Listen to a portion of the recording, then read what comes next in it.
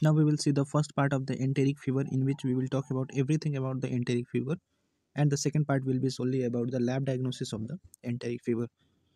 So talking about the causative agent of the enteric fever, the enteric fever is caused by Salmonella typhi, Salmonella paratyphi A, Salmonella paratyphi B and Salmonella paratyphi C.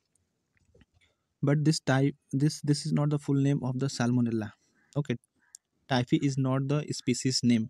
Salmonella is genus name and typhi is a serotype name. Generally we see that any scientific name starts with the genus name and ends with the species name.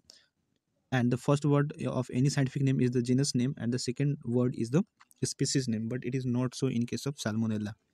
Then what is the full name of salmonella? And what is the species name of salmonella? So the full name of uh, salmonella typhi is salmonella enterica enterica typhi of which salmonella is the genus name enterica is the species name and again enterica is the subspecies name and typhi is the serotype okay?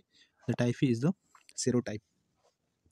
So genus has many species, then many species have many subspecies, many subspecies has many serogroups and many serogroups has many serotypes. So in this way the name classific uh, I mean the name has been given to the Salmonella. And to simplify this name we generally uh, call Salmonella as Salmonella typhi by the genus and the serotype name. Okay, to make it more clear because if we call Salmonella enterica then there will be many uh, subspecies many serotypes will be there which will be causing infection. Okay so that will not pinpoint to a particular bacteria. But if we say by uh, taking the name of the serotype then we will pinpoint at a particular bacteria how this classification has been done. So see here the serogroups uh, has been made on the basis of O antigen while serogroups are further classified into serotypes on the basis of H antigen. So sub is after subspecies we have serogroups and those serogroups are based on the o antigen. So uh, in case of type e there is specific no antigen specific type n o antigen. So due to presence of a specific type and type uh, 9 o antigen it has got a serogroup of 9 similarly in paratyphi A there is type 2 o antigen there is type 2 o antigen and due to type 2 antigen it has been put into the serogroup 2. Similarly, paratyphi B has type 4O antigen specific. That's why it has been put into serogroup 4. Paratyphi C has a specific type 7O antigen. Hence, it has been put into serogroup 7. Okay, and all of them has uh, one serogroup, uh, one uh, O antigen common. That is 12 O type 12O antigen. Type 12O antigen is common to all of them. Type 12 co, uh, type 12 uh, O antigen is common to all of them and 9 is 9 type 9 O antigen is present only in type E type 2 O antigen is present only in paratyphi A type 4 in only in paratyphi B and type 7 O antigen only in paratyphi C and hence they has been put into serogroup 9 2 4 and 7 respectively so this serogroup of uh, different Serotypes should be remembered like typhi has been taken from the serogroup 9, paratyphi A has been uh, in serogroup 2, paratyphi B in serogroup 4 and paratyphi C in serogroup 7. okay, this should be remembered. This is this classification is called as the Kauffmann-White classification. Okay, Kauffmann-White classification is the uh, cl classification on which we have classified this Salmonella in serogroups and serotypes. talking about the antigens of the salmonella so salmonella has got three types of antigen. One is the o antigen h antigen and vi antigen. So what is the difference or what is the points important points about the o and h antigen? The different points are that o antigen is a part of lipopolysaccharide of the cell wall while h antigen is a part of flagella. O antigen is less immunogenic h antigen is more immunogenic since it is less immunogenic so it will have less antibody titer while h antigen is more immunogenic so it will have more antibody titer O antibody appears early and hence disappears early, but H antibody appears late and hence disappears late. When there is reaction between the O antigen and O antibody, there is granular chalky clump formation. And when there is reaction between the H antigen and H antibody, there is loose fluffy clump formation. This is a very important, very, very important, very, very important Viva question. Like that, uh, the examiner will ask you what type of clump is seen if O antigen reacts with O antibody. You have to see granular chalky clump.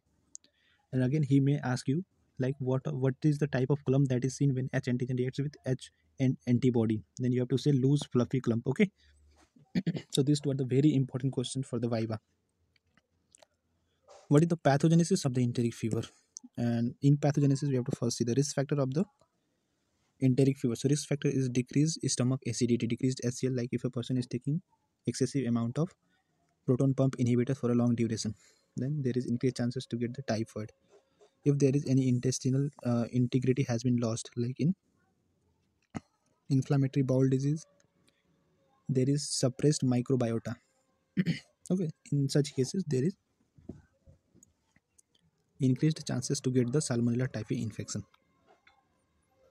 Now, if we talk about the pathogenesis, so salmonella enters into the body via the oral route and reaches to the intestine, and there uh, the intestinal mucosa has a special type of cell called as the M cell. Okay, these salmonella cause formation of membrane ruffles on the cell membrane of the M cells.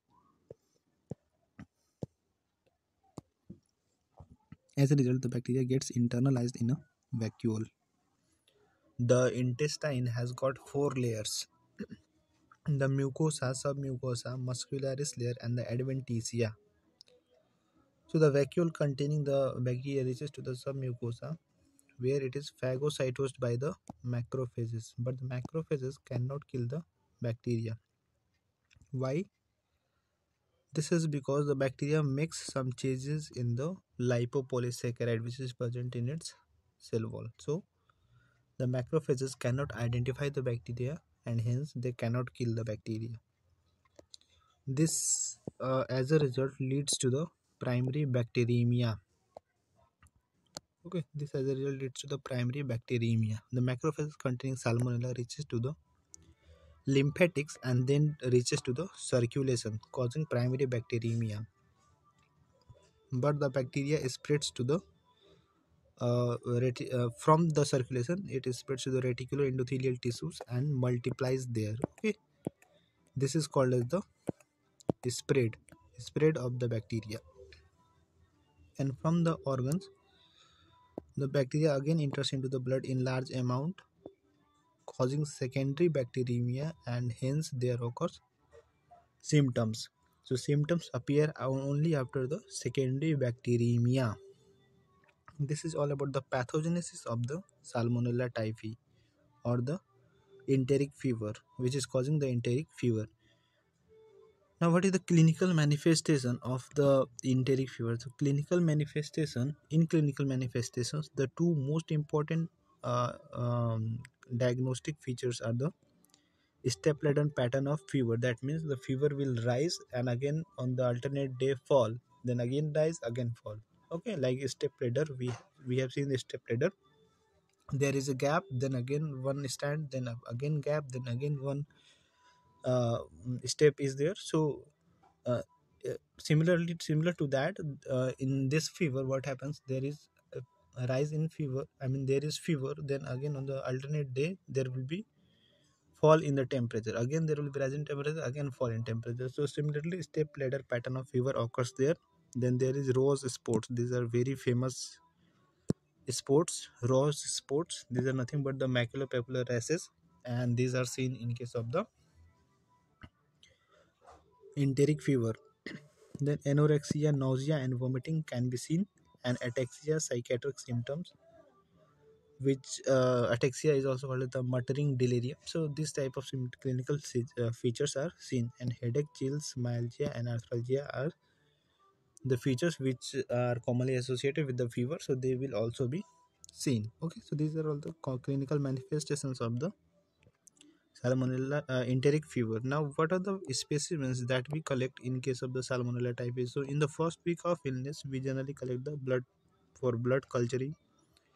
In the second and third week of illness the serum specimen is uh, collected. I mean again the blood is collected for serology and in third and fourth week of illness urine and stool cultures are more sensitive. So urine and stool cultures are collected in uh, in the third and fourth week of illness. Okay? This is all about the general part of the salmonella typhi now in the second part we will read about the lab diagnosis of the enteric fever